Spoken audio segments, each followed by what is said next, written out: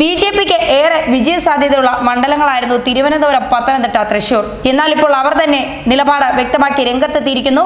തിരുവനന്തപുരത്തേക്കാൾ തങ്ങൾക്ക് വിജയസാധ്യത പ്രതീക്ഷിക്കുന്നത് പത്തനംതിട്ടയിലാണ് എന്ന തരത്തിൽ. പത്തനംതിട്ടയിൽ കെ സുരേന്ദ്രന്റെ വിജയം ഉറപ്പെന്ന ബി ജെ പി പാർലമെന്റ് മണ്ഡലം നേതൃയോഗം വിലയിരുത്തി. വലിയ ഭൂരിപക്ഷം ലഭിച്ചില്ലെങ്കിലും സുരേന്ദ്രൻ ജയിക്കുമെന്ന വിലയിരുത്തലാണ് യോഗത്തിലുണ്ടായത്. ബി ജെ പി ദേശീയ നിർവാഹക സമിതി അംഗം പി കെ കൃഷ്ണദാസിന്റെ നേതൃത്വത്തിലായിരുന്നു അവലോകന യോഗം നടന്നത്. അതേസമയം ന്യൂനപക്ഷ ഏകീകരണം ഉണ്ടായിട്ടുണ്ടോ എന്ന കാര്യത്തിലെ ആശങ്ക യോഗത്തിൽ ഒരു വിഭാഗം പങ്കുവച്ചിട്ടുണ്ട്. ന്യൂനപക്ഷ ഏകീകരണം ഏതെങ്കിലും ഒരു മുന്നണിയിലേക്ക് മാത്രമായി കേന്ദ്രീകരിച്ചിട്ടുണ്ടെങ്കിൽ അത് ബി ജെ പിക്ക് ദോഷമുണ്ടാക്കും എന്നും നേതൃയോഗം വിലയിരുത്തി. തിരുവനന്തപുരത്തേക്കാൾ ജയസാധ്യത പത്തനംതിട്ടയിലാണെന്നാണ് ബി ജെ പി വിലയിരുത്തുന്നത്.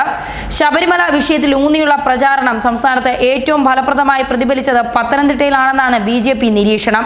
ഹിന്ദു വോട്ട് ഏകീകരണമുണ്ടായി. ഇതിന്റെ ഗുണം കിട്ടുക കെ സുരേന്ദ്രന് തന്നെയായിരിക്കും. മറുവശത്ത് ന്യൂനപക്ഷ ഏകീകരണം ഏതെങ്കിലും ഒരു മുന്നണിക്ക് അനുകൂലമായി ഉണ്ടായിട്ടില്ല. നായർ വോട്ടുകളിൽ വലിയ ശതമാനം ലഭിച്ചിട്ടുണ്ട്. ഈഴവ വോട്ടുകളും അനുകൂലമായിട്ടുണ്ട്.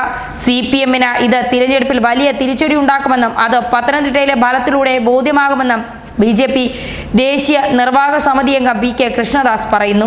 ഇരുപതിനായിരം മുതൽ മുപ്പതിനായിരം വരെ വോട്ടുകൾ നേടി വിജയിക്കുമെന്നാണ് നിരീക്ഷണം. തിരഞ്ഞെടുപ്പ് ഫലപ്രഖ്യാപനത്തിന് ശേഷം കേരളത്തിന്റെ രാഷ്ട്രീയ ചിത്രം തന്നെ മാറുമെന്ന് യോഗത്തിൽ പി കെ കൃഷ്ണദാസ് പറഞ്ഞു. ന്യൂസ് ഡെസ്ക് മലയാളി വാർത്ത.